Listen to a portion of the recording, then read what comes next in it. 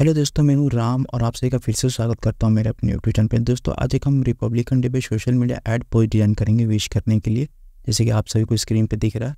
ये मैंने अपने एक फ्रेंड के लिए डिज़ाइन किया हुआ है। तो ऐसा ही कुछ क्रिएटिव और प्रोफेशनल डिज़ाइन करेंगे स्टेप बाय स्टेप तो प्लीज़ बने रहिए इस वीडियो में स्टार्ट टू एंड तक। तो दोस्तों, आपसे छोटा सा रिक्वेस्ट है। अगर आप मेरे चैनल पर पहली बार आए तो प्लीज़ मेरे चैनल को लाइक ज़रूर करिएगा, ताकि आप सभी को यहाँ पर कुछ क्रिएटिव नया डिज़ाइन सीखने मिले रोज़। तो बिना देरी करते हुए चलिए स्टार्ट करते हैं।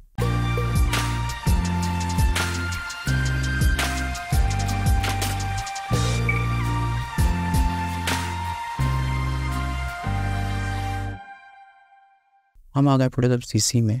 मैं जाता हूँ फ़ाइल में और यहाँ से एक न्यू फ़ाइल क्रिएट करता हूँ। और यहाँ पे मैं साइज़ रखता हूँ वन ज़ीरो एट ज़ीरो बीट हाइट सेम है है कलर मोड आठ जी बी और यहाँ पे फ़ाइल नेम लेता हूँ मैं और यहाँ से क्रिएट कर लेता हूँ। तो ये हमारा डिज़ाइन साइज़ आएगा। अब मैंने कुछ इमेजेस लिए मैं एक करके वहाँ पे प्लेस कर लेंगे। ये इमेज मैंने एआई से जनरेट किया हुआ है।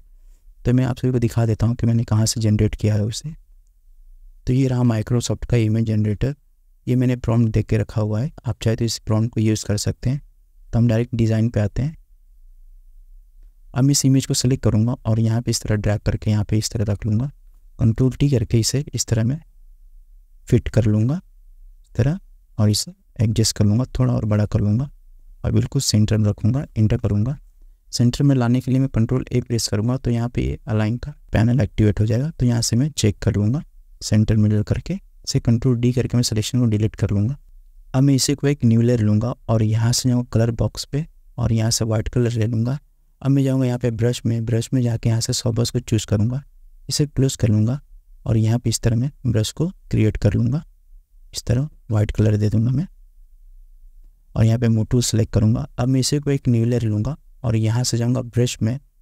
ब्रश में जाके इस जनरल ब्रश को क्लोज करूँगा और यहाँ नीचे की तरफ़ आके वाटर ब्रश ले लूँगा। नीचे की तरफ़ आके लास्ट ब्रश को सिलेक्ट करूँगा। इसका लिंक आप सभी को डिस्क्रिप्शन में दे दूँगा मैं। और यहाँ पे मैं ब्रश को क्लोज ब्रैकेट इस तरह मैं छोटा कर लूँगा थोड़ा। इस तरह। और यहाँ पे कलर बॉक्स पे जाके यहाँ से मैं कलर चूज़ करूँगा। ये रहा इसका कलर कोड ओके करूँगा। अब मैं यहाँ पे ब्रश को थोड़ा सा और बड़ा कर लेता हूँ। और यहाँ पे इस तरह मैं डबल क्लिक कर लेता हूँ। और यहाँ पे मोटूल सेलेक्ट करके इसे कंट्रोल टी करके इसे इस तरह मैं रोटेट कर लूँगा। और इसे इस तरह मैं बड़ा करके इस कॉर्नर में इस तरह रख लूँगा। इंटर करूँगा। अब इसी को एक न्यू ले लूँगा फिर से और यहाँ पे कलर बॉक्स पे जाऊँगा और यहाँ से ग्रीन कलर में पिक कर लूँगा। ये रहा इसका कलर कोड ओके करूँगा। यहाँ से ब्रश को सिलेक्ट करूँगा जो कि ऑलरेडी मैंने सेलेक्ट करके रखा हुआ है। यहाँ पे क्लिक करूँगा इस तरह और यहाँ पे मोटू सेलेक्ट करके किसी भी इस तरह में रोटेट कर लूँगा और यहाँ पे इस तरह कॉर्नर में रख लूँगा। इस तरह इंटर करूँगा। अब मैं जाऊँगा यहाँ पर जो कि मैंने ये इमेज रखा हुआ है ये मेरे इमेज मेरे फ्रेंड्स का है। तो इसे ड्रैग करके यहाँ पे रख लूँगा।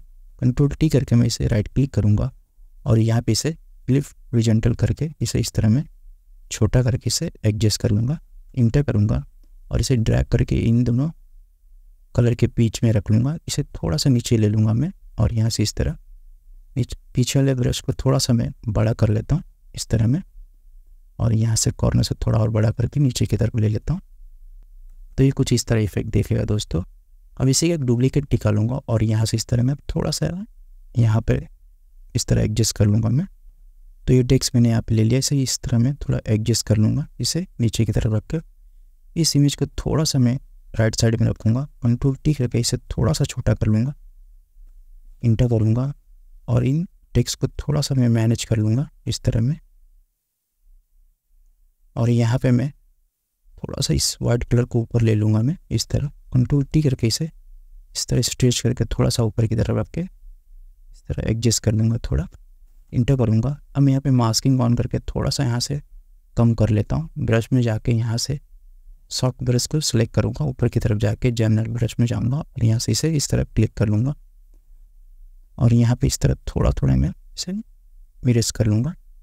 तो ये डिज़ाइन में कुछ इस तरह दिखेगा दोस्तों। अब मैं यहाँ पे टॉप लेयर पे जाऊँगा और यहाँ पे control shift alt E press करूँगा तो ये डिज़ाइन कंबाइंड हो जाएगा। अब मैं जाऊँगा इमेज में और यहाँ से जाऊँगा वाइब्रेंस में और यहाँ से जाऊँगा सेचुरेशन में। इसका थोड़ा सा सेचुरेशन बढ़ाऊँगा वाइब्रेंस भी बढ़ाऊँगा ओके करूँगा। अब मैं फिर से इमेज में जाके यहाँ से एक्सपोजर में जाऊँगा और यहाँ से इसका थोड़ा सा ऑपसेट बढ़ाऊँगा मैं, ज़्यादा में इंटर करूँगा। अब मैं जाऊँगा फ़िल्टर में और यहाँ से जाऊँगा कैमरा रॉ में। और यहाँ से जाऊँगा डिटेल में और यहाँ से इसका थोड़ा सा टेक्सचर बढ़ाऊँगा और क्लियरिटी भी इसे क्लोज करूँगा और नीचे की तरफ़ डिटेल में आऊँगा और यहाँ से शार्पिंग करूँगा थोड़ा। इसे क्लोज करूँगा और यहाँ से इफ़ेक्ट में आके यहाँ से वैगनेटी को थोड़ा सा बढ़ाऊँगा मैं इस तरह और गेन को भी थोड़ा सा बढ़ा लूँगा मैं और ओके करूँगा। कंट्रोल ज़ीरो करके मैं डिज़ाइन को फुल स्क्रीन कर लूँगा। तो फाइन दोस्तों, ये डिज़ाइन हमारा रेडी हो गया रिपब्लिकन डे पे। तो दोस्तों, ये डिज़ाइन आपसे कैसा लगा? प्लीज़ मेरा कमेंट करके बताइएगा। और अगर मेरे चैनल पर नए हैं तो प्लीज़ मेरे चैनल को लाइक ज़रूर करिएगा। धन्यवाद, मिलता है नेक्स्ट वीडियो में।